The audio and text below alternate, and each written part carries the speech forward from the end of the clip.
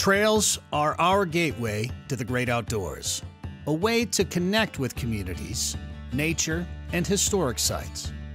Minnesota has more than 1,300 miles of state trails, and one of the most popular is the Root River State Trail in southeast Minnesota.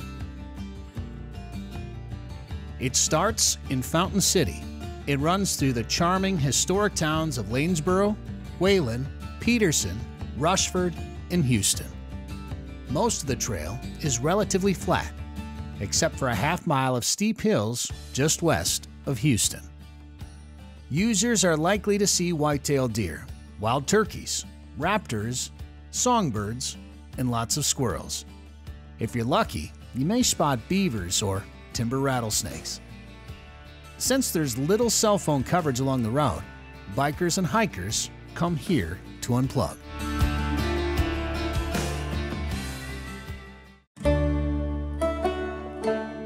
Like the serenity of the trail. I like to come and just relax and a lot of times just by myself and let all the problems of the world melt away. Following the Root River and watching the current is wonderful.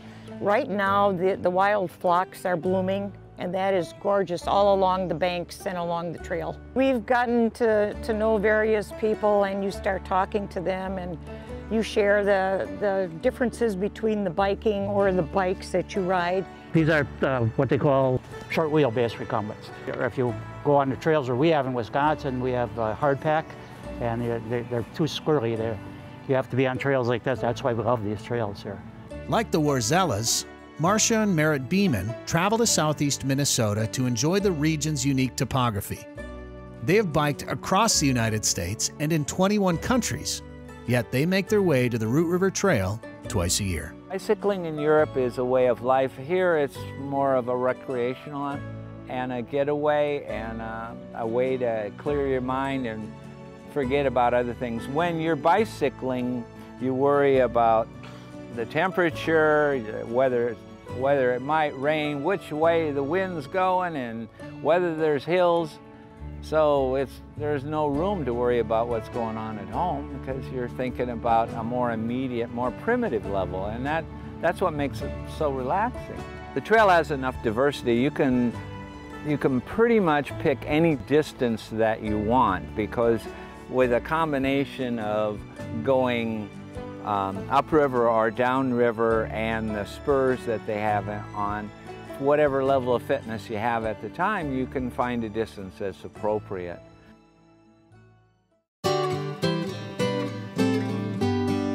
The State Trail was built on the Old Milwaukee Road Railway that ran 50 miles along the Root River to service small communities. In 1980, the railroad received permission to abandon the line, and the Minnesota DNR determined it would be a great route for a recreational trail. In 1999, construction of the Root River State Trail was completed, and it started drawing thousands to the area. Uh, the Root River State Trail is used year-round by hikers, bikers, walkers, and skaters. But in the winter months, the trail is used and groomed for cross-country skiing, but it also attracts a lot of snowshoers to the area. They are stopping in these communities and spending money on lodging and food and dining and shopping. Lanesboro has the most recreational traffic along the trail.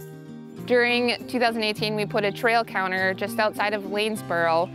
During that study, we actually had about 17,000 pedestrians and 57,000 cyclists pass by that trail counter. So that equaled out to about 71 pedestrians and 239 bike riders per day in the city of Lanesboro. Everyone in this town is so friendly, but all the towns along the route cater to the bicyclists. If you go towards Whalan, the bluffs are just absolutely gorgeous. Whalan is one of Minnesota's smallest towns, but it has arguably the best pie shop. And you bike anywhere for pie.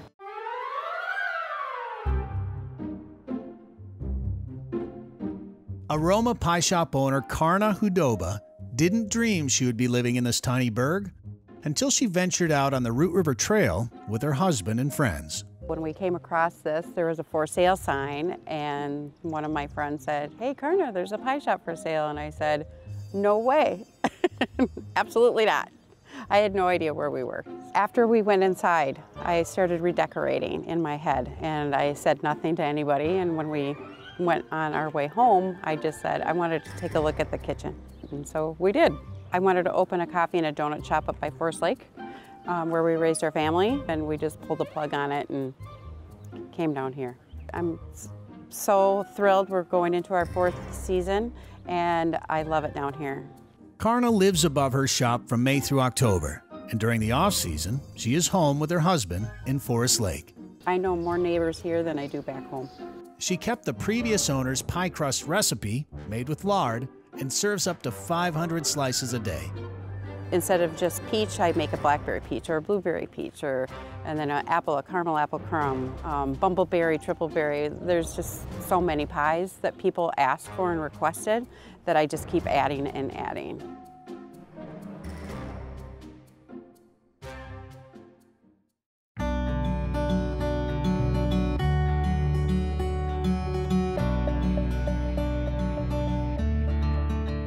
The trail is very important to this area and I think that people really enjoy um, waving to the bikers as they come by. There's all different types of bikers from young to old, um, three-wheelers to two-wheelers, and fancy people with their bike shorts uniforms on.